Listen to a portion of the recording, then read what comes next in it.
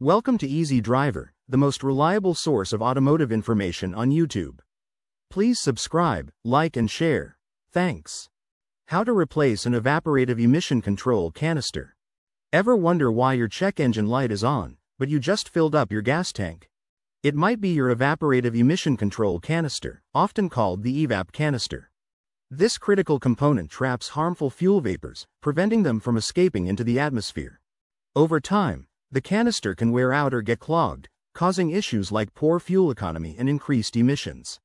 Replacing a faulty EVAP canister isn't just about turning off that pesky warning light. It's crucial for keeping your vehicle running smoothly and reducing your environmental footprint. In this guide, we'll break down everything you need to know about replacing your EVAP canister, step by step, to help you get your car back in top shape. Let's get to work.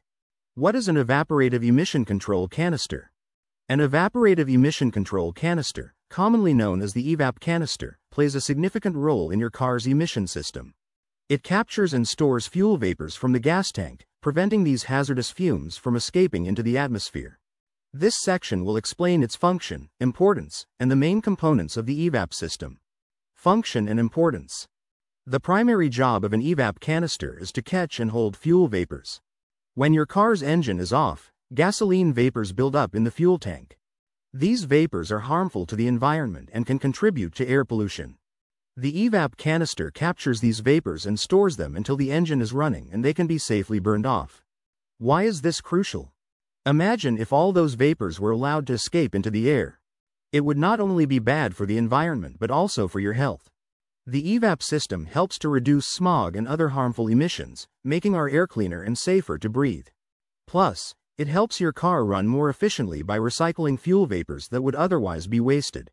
Components of the EVAP system.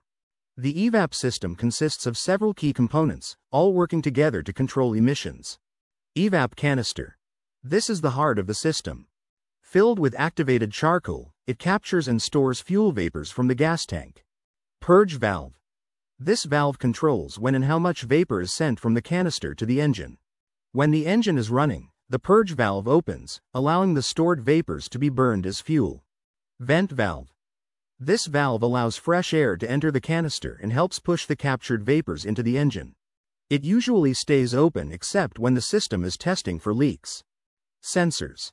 Various sensors monitor the EVAP system for leaks and proper operation. If a problem is detected, these sensors trigger the check engine light on your dashboard. The EVAP system might seem complicated, but each part plays a specific role in reducing emissions and keeping your car running smoothly.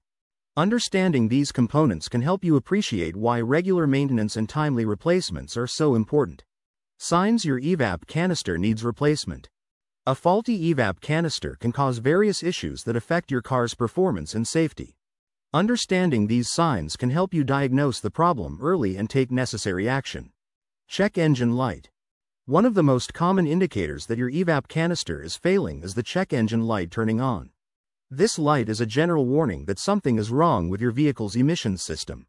When the EVAP canister isn't working properly, it can cause a leak in the system. This triggers sensors to light up your dashboard. It's crucial to get this diagnosed by a professional as soon as possible. Ignoring the check engine light can lead to more serious problems down the road. A mechanic can use a diagnostic tool to read the error codes and determine if the issue is with your EVAP canister or another part of the emissions system. Fuel odor. Another sign of a bad EVAP canister is a strong fuel odor around your vehicle. The canister is designed to trap fuel vapors and prevent them from escaping. When it fails, these vapors can leak out, causing a noticeable smell. This isn't just unpleasant, it's also a safety hazard. Fuel vapors are highly flammable and inhaling them can be dangerous to your health.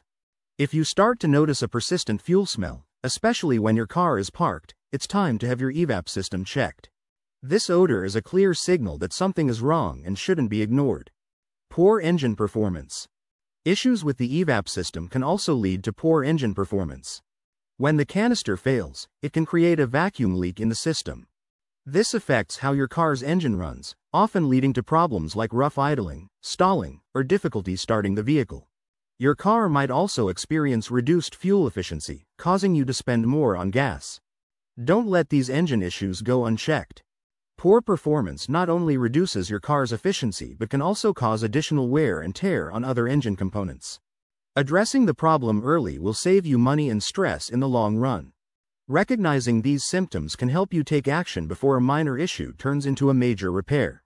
Keep an eye on your vehicle's performance and ensure you address any warning signs promptly.